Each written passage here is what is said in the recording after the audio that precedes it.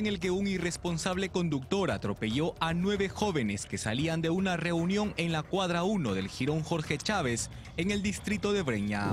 Era la una de la madrugada del último fin de semana. Un grupo de jóvenes estaba reunidos aquí en esta zona en el distrito de Breña. En eso un conductor a bordo de su unidad en aparente estado de ebriedad ingresa, los atropella en esta zona y luego incluso se produce una discusión. Las cámaras de seguridad captaron este momento.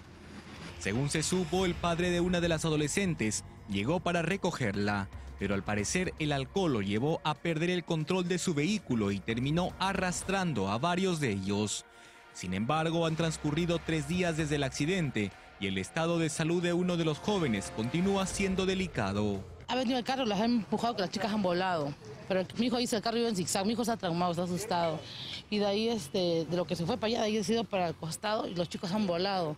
Mi hijo perdió el conocimiento, estaba así todo mareado y su amigo, su, sobrino, su primo le dice al otro, Fabián, ayúdame, hermano, ayúdame, ayúdame. Mi hijo estaba así, no reaccionaba, mi hijo estaba así. Y viene el otro amigo, le dice, Fabián, Fabián, Fabián.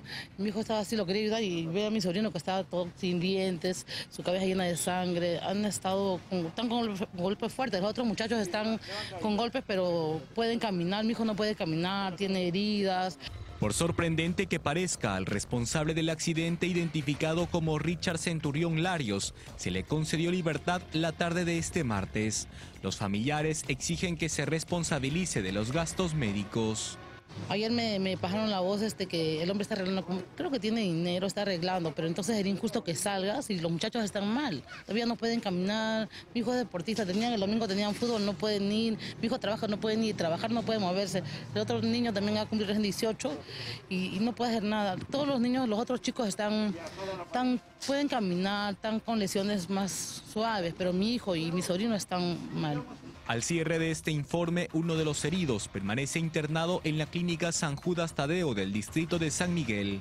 Intentamos dialogar con el responsable, pero no fue posible.